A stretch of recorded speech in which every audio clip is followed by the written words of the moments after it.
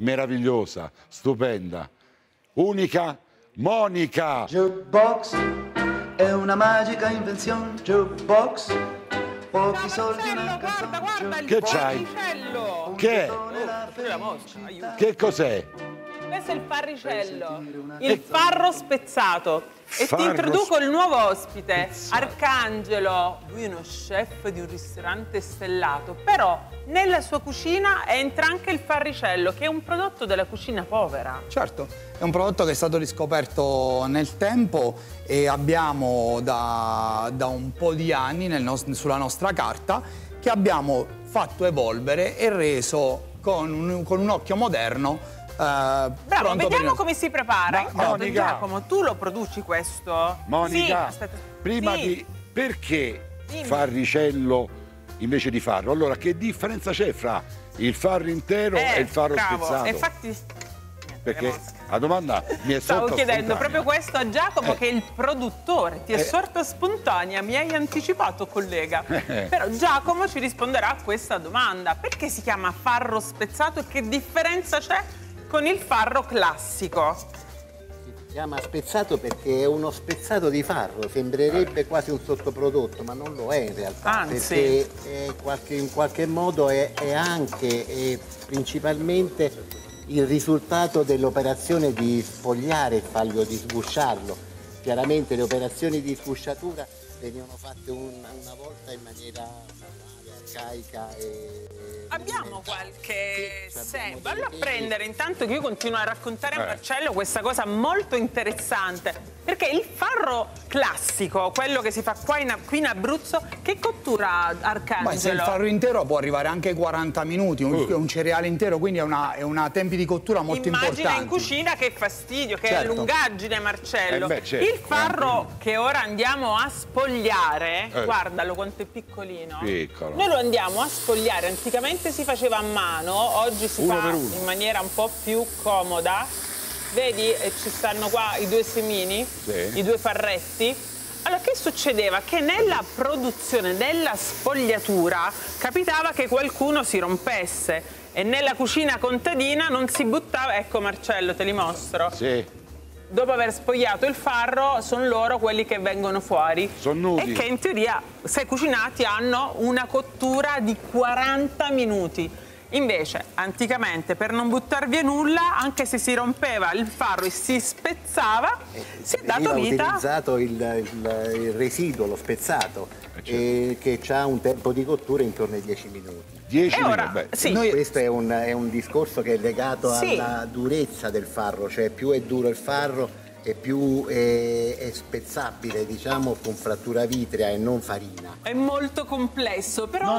Arcangelo ci sta mostrando come possiamo farlo anche a casa, Marcello. Sì? Abbiamo- siamo partiti con una, tosta- una tostatu- una tostatura a secco, quindi senza olio, senza grassi, l'abbiamo tostato, abbiamo sfumato con del consomé di porcini, ma può essere del brodo vegetale o quello, quello che abbiamo a casa Sono nel- arrivati nella nostra ieri dalla dispensa. Maiella, Marcello, guarda. Eh, Sono arrivati ieri freschi freschi. E andiamo a cuocere per indicativamente 13 minuti e ci, e ci dobbiamo fare attenzione di aggiungere acqua mano a mano per portare il prodotto a cottura. Ok, che- vediamo com'è finito il prodotto Arcangelo. così facciamo poi passo un, avanti, un eh. change Ma è il simile al riso la cottura. dopo i diciamo È simile al Esatto, riso. questa la facciamo noi perché lo, È simile al esattamente riso, sì. esatto, il concetto è lo stesso e si può usare sia per fare, che so, una insalata fresca estiva, Certo. in questo caso è un riso, è un farricello mantecato. come se fosse un risotto Come se fosse un, Un risotto. farricellotto, Ti faccio vedere, diciamo. mentre Arcangelo completa il piatto,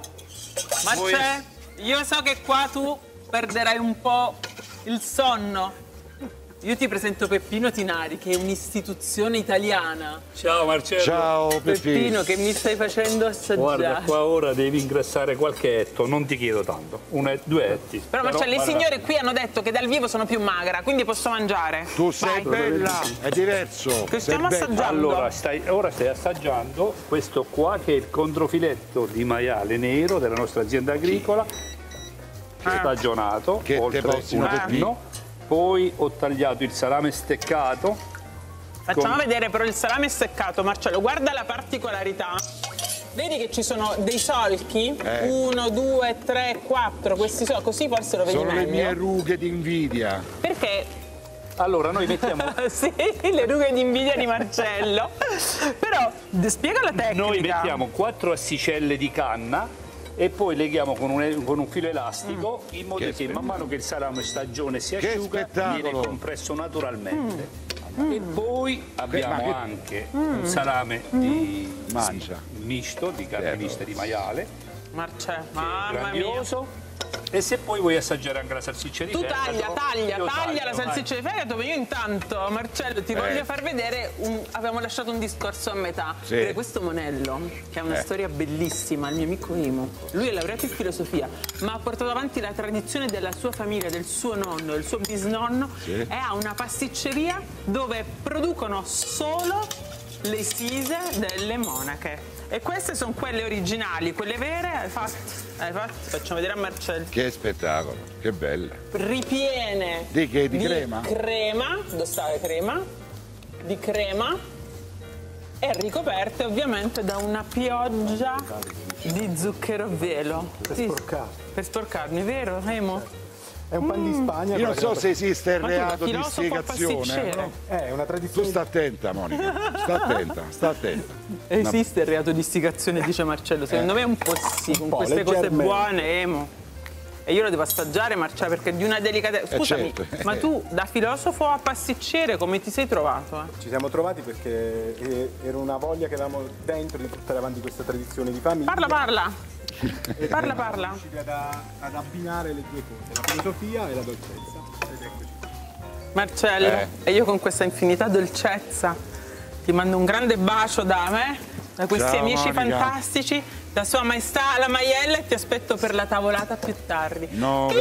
Chi è? Non andate ad apparecchiare piuttosto. Ciao Monica. E anche oggi